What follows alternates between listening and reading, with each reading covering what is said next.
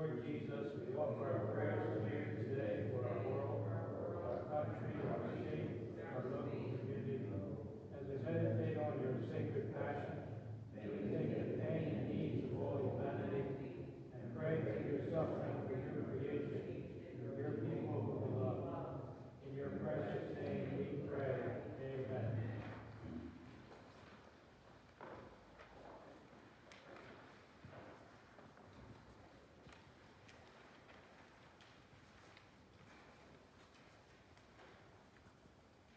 The first station, Jesus is condemned to death. We adore you, O Christ, and we praise you.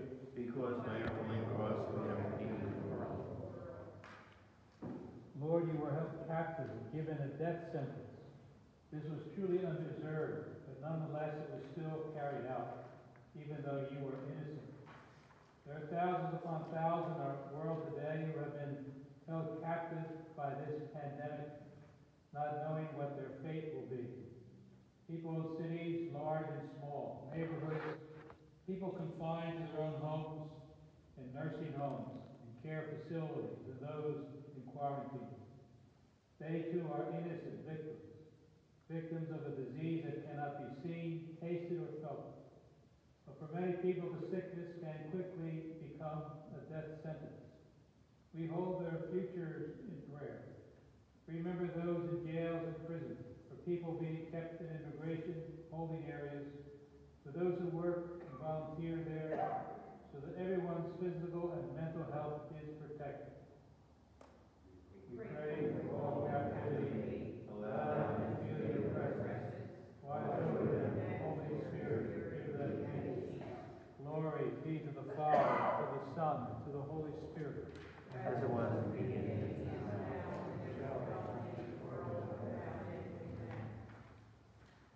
The second station, Jesus carries his cross.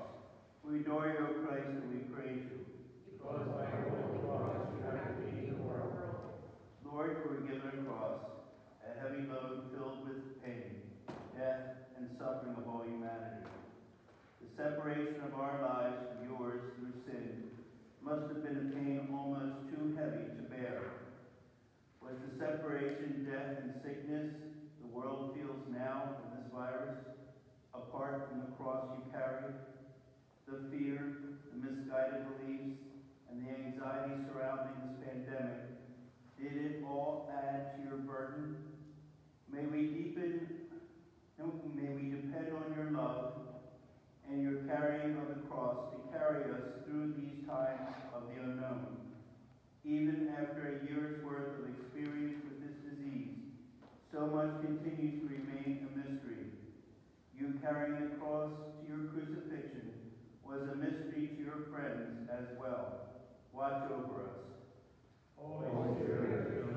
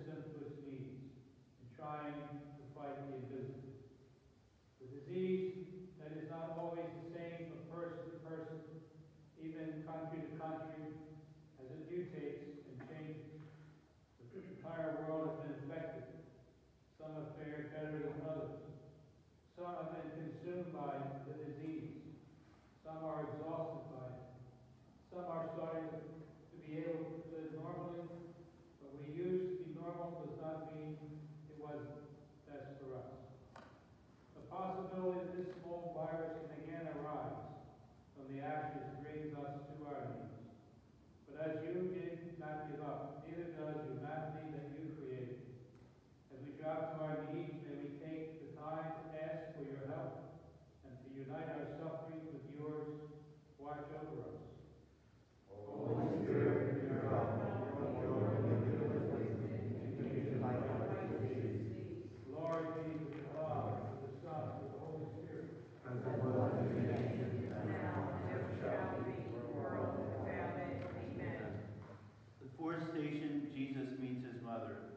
Adore you, O Christ, and we praise you.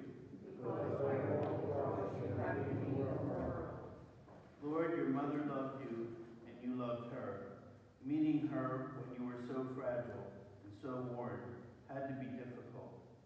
Many families in our world, in our nation, and in our community have come together and bonded and helped each other in this time of trial. Over these past 12 months, we have had our struggles. Some of our loved ones have become very sick, and many have passed away from this virus. Some families have unknowingly passed it to each other at gatherings and celebrations. Many are suffering from the sense of guilt of feeling responsible for causing another person to become ill. In your divine passion, please give to us your divine mercy and compassion as we seek to make sense out of these troubling thoughts and fears. Our hearts ache with love and desire to be with our family and friends after such a long period of separation. We have used technology to keep us in touch without touching each other. Funerals, weddings, celebrations, mass, and simple acts of love, like reading a book to a grandchild, have often taken place on computer or phone applications. You and your mother understand that separation. Watch over us. Holy Spirit, help us love each other so much that we the help and needs of those around us before our coming. Glory be to the Father, and to the Son, and to the Holy Spirit. As it was in the beginning, is now, and shall be, world without end. Fifth station, Simon helps carry. We adore you, O Christ, and we praise you. Because by your holy cross you have redeemed the world. Lord, the cross was heavy and you were slowing down. Simon was told to help him. And you humbly accepted this help. We know in this time of pandemic, each country is testing and working hard to fight the virus, to heal its citizens, to obtain and distribute vaccines and medications to fight this disease.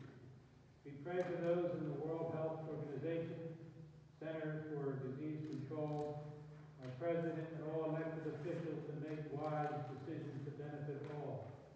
We pray for a safe, equitable, and peaceful distribution and rapid disbursement of the vaccines throughout the world.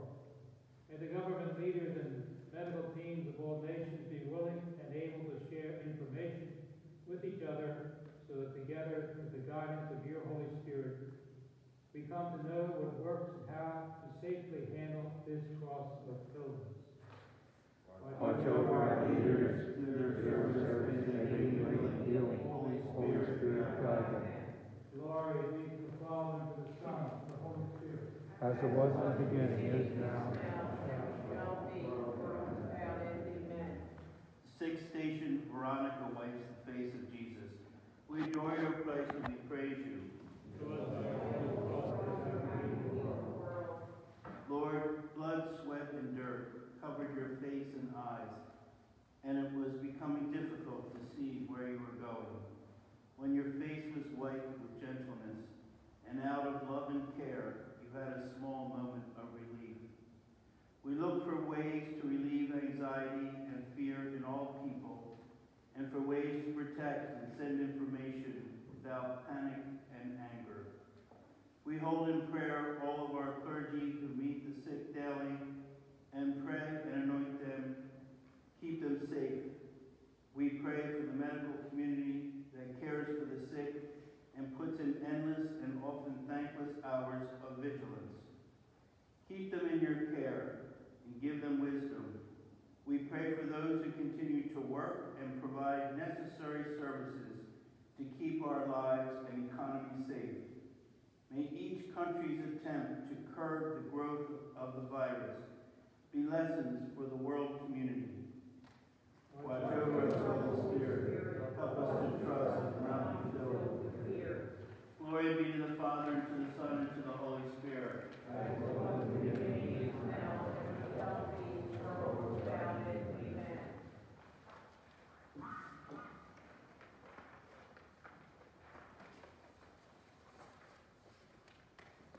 Seventh station, Jesus falls the second time. We adore you, O Christ, and we praise you. Because by your holy cross you have redeemed the world. Lord, weakness again overcomes you, and you fall under the weight of the cross that you bore on our behalf. We pray in respect to the weakness of our health care and government systems and the ability to fight this unknown entity of coronavirus. We have never experienced something like this, and we never, and we need your help in combating it. We are stronger when we are unified in you, Lord. In these past several months, we have identified many weaknesses in our country, state, and community regards to following laws put in place for safety, COVID testing, vaccine production, distribution, follow-up. Even the types of masks that we should wear and the necessity of those masks. Please help us repair the weak links in our healthcare system so that we can advance and work together for the care of all people watch over us and unite us. Holy Spirit, inspire us to set aside differences and help us rise to the occasion to do your work through our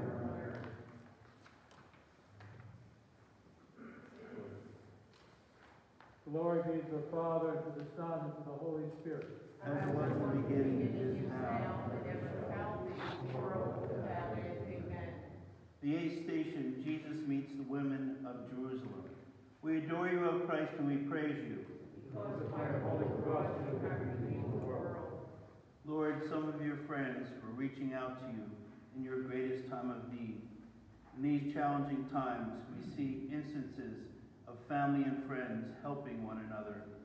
We see friends and strangers alike taking it upon themselves to check on neighbors and make visits to those who are elderly, even if it is just through a window or under a heater outside in the cold.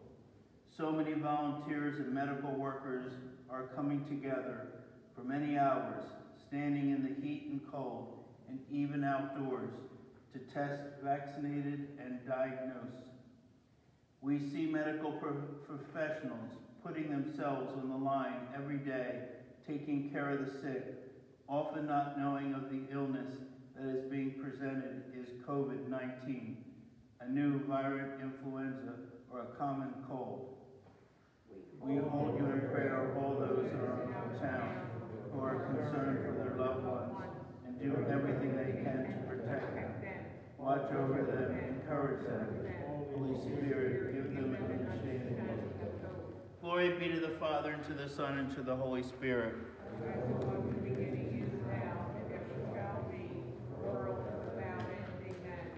The ninth station, Jesus falls the third time.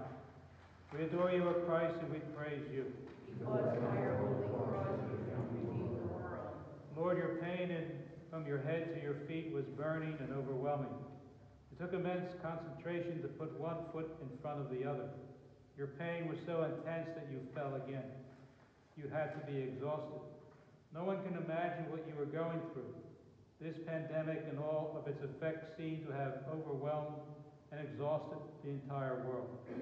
We have had a hard time understanding that we are living in this day and age where a virus crossed borders, infected millions, caused millions of deaths, and challenged economies. This anger and fear has transitioned at times into a name-calling, riotous reaction and violence. Is this the violence, panic, and rage we have seen? A part of the cross that dropped you to the ground. We have failed to treat each other with love as you taught us. Displaced anger becomes a cross that causes each of us to fall and take others with us. Watch over us and change our hearts, Holy Spirit. Convict us so we can lift each other up. Glory be to the Father, and to the Son, and to the Holy Spirit.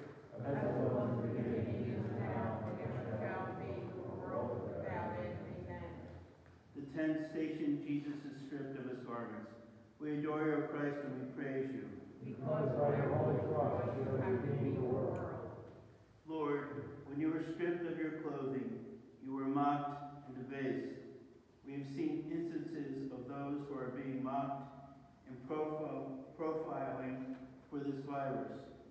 We ask forgiveness for times we have been afraid of someone because of their culture, their ethnicity, their age, or their income level. We are all your children, and we must treat one another with dignity and care. But this virus has affected certain groups of our brothers and sisters disproportionately. This has made a greater divide in our support for each other. We pray for those in our world, country, and town who are some of the most vulnerable to this virus. People at the margins, those who have underlying health concerns, the aged, and those with disabilities. Watch over them, build them up. May they receive the vaccinations they need in a timely fashion. Holy Spirit, open our eyes, that is unfair, prejudicial, and the courage to stand up to those who need. Glory be to the Father, and to the Son, and to the Holy Spirit.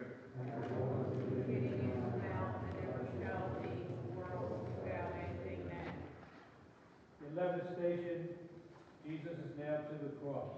We adore you, O Christ, and we praise you. You were nailed to the cross and raised high that all can see and condemn. Your suffering and dying, and the dying tore through your body with every breath you took. Your mother never left you, and a few of your friends stood by and held vigil for you. Even in your pain, you reached out to the thief next to you and assured him of salvation. We also seek assurances at this time. We look back over the months and see how our lives have been altered. Every single person on the earth has been touched by the same disease and at the same time.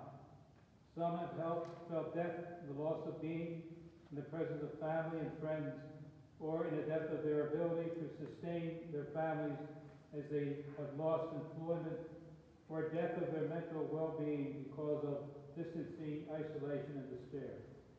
Many children are still unable to attend school in person, and this, along with the increase in addictions and domestic abuse, add to the pain of many families. Life as we knew it a year ago has changed all over the world. Help us to find assurances in you, your promise that we are not alone. May all understand this and recognize your presence. Watch over all of them. Unite them, Holy Spirit, may they see Christ in each other. Glory be to the Father, and to the Son, and to the Holy Spirit. As it was in the beginning, is now, and ever shall be, world without end. Amen. The twelfth station, Jesus dies on the cross. We adore you, O Christ, and we praise you. Because by your holy cross you redeemed the world. Lord, your death was a pain-filled sacrifice. You died for each one of us. Unselfish, humble, perfect, and complete was your surrender. Your death freed us from the pain of eternal separation from you. We pray for those in our world, nation, state, and community who have died from or will succumb to the coronavirus. Pray for those souls that departed, your mercy is united with the Holy Spirit, may they have rest from all of their work. Glory be to the Father, and to the Son, and to the Holy Spirit. As it was in the beginning, is now, and ever shall be, world without end. Amen. Twelfth station, Jesus is taken down from the cross. We adore you, O Christ, and we praise you. Because by your holy cross you have redeemed the world. Lord, your body was removed from the cross, and your mother was there to accept your broken and lifeless body. Her grief, sorrow, confusion may have been coupled with fear and anger. Yet she had hope. She knew you and she loved, she loved you and was filled with hope. She was unsure what that hope consisted of, and yet she was sure you would not leave us alone and abandoned. As people become sick with this unknown virus, we grieve for those who died. Too often the families of those who have died in the past year were not able to gather in prayer together. Some parts of the world, people had to be buried in mass graves and the pandemic swarmed. We live in a time of sadness and confusion, a time of fear and anger. Many live in distrust and depression. We look to your mother, our blessed mother, as a model of hope in the face of the unknown. Watch over us, Mary, our mother. Please pray for us. Holy Spirit, help us to find hope in the darkest of times, because we never abandoned. especially during these times of great need. Glory be to the Father, to the Son, to the Holy Spirit. As it was in the beginning, is now, and ever shall be, world without end. Amen. The fourth teen station, Jesus is laid in the tomb. We adore you, O Christ, and we praise you. Because by your holy cross, you have made me well. Lord, your body was put to rest in the tomb given to your mother for your burial. This was the moment of complete separation for you and her. We pray for those in our world, nation, state, and local community who feel or will feel complete separation because of this virus. We must separate ourselves in social distancing. We separate ourselves from those who are sick. We stay six feet away from anyone not from our own homes. Separation may be frightening and lonely, but it can also be a, a blessed time for healing. We pray for those who have no place where they may be kept safe and cared for, especially those who are homeless. We also pray for those who reside and work in shelters, and we pray for all those who feel complete separation in this world because of death. Holy Spirit, please make your presence unto us in a special way when we feel alone. Glory be to the Father, to the Son, and to the Holy Spirit. As As it it was was in the beginning, beginning, now, and ever shall be, world without end. Amen. Our Father who art in heaven, hallowed be thy name. Thy kingdom come, thy will be done on earth, as it is in heaven. Give us this day our daily bread, and forgive us our trespasses, as we forgive those who trespass against us. And lead us not into temptation, but deliver us from evil. Hail Mary, full of grace, the Lord is with thee. Blessed art thou amongst women. Blessed is the fruit of thy womb, Jesus. Holy Mary, Mother of God, pray for us sinners now and at the hour of our death. Amen. Glory be to the Father, and to the Son, and to the Holy Spirit. As it was in the beginning,